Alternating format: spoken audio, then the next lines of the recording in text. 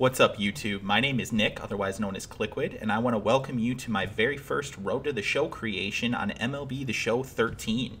Uh, I know what you guys are thinking. Dude, this game came out like a year ago, and you're right, it did.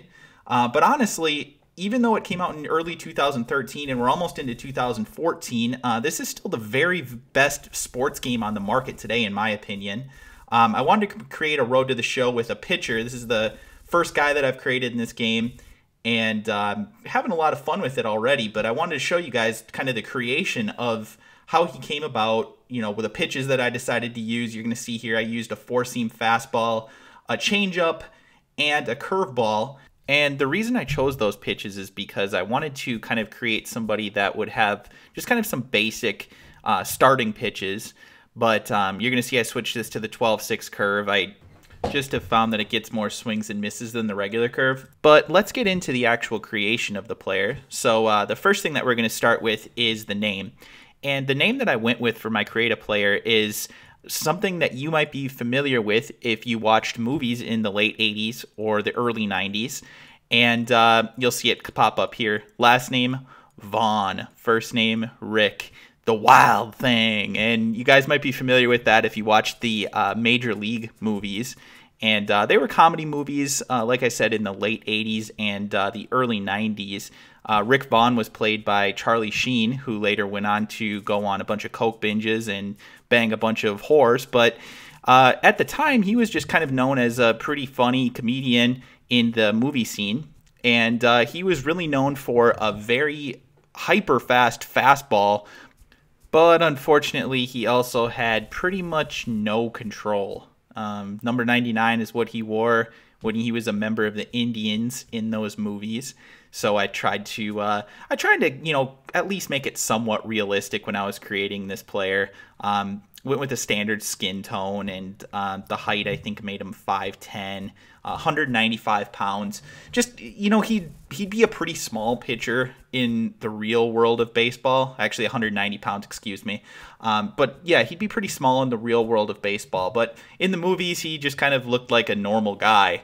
And uh, so that's kind of what you're going to see here. I'm not going to spend a whole lot of time on creating this player because i kind of find that although the the ways that you can edit your player in these games um, baseball football every sport really is starting to get more customizable with the creative players.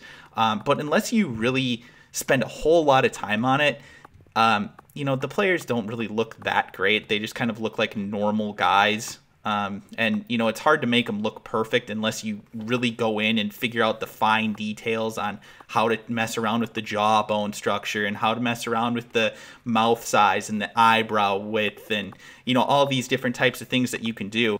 If you're a rookie like me, you're better off just going with the pretty much the defaults. Um, but right here, those glasses, that's the thing that everybody remembers about Rick Vaughn. And uh, he did also wear long sleeves in the movies, um, and these uh, these funny stirrup socks as uh, as he wore in the movies as well. I think that he wore it on all of them, but I know at least in one scene he wore something very similar to those anyway.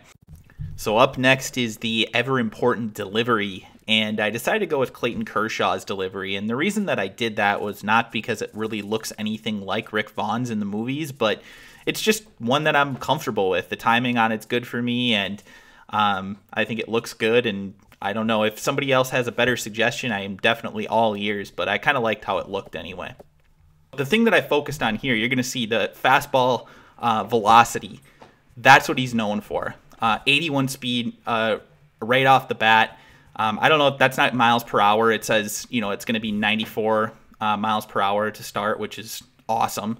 Uh, guys at the double A level are going to have no chance to hit that.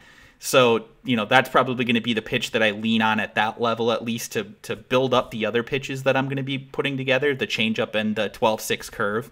Uh, but for now, you know, got to focus on getting the hits down and, um, you know, the walk ratio down. But uh, we're going to be focusing on that fastball, I think, at the double A level.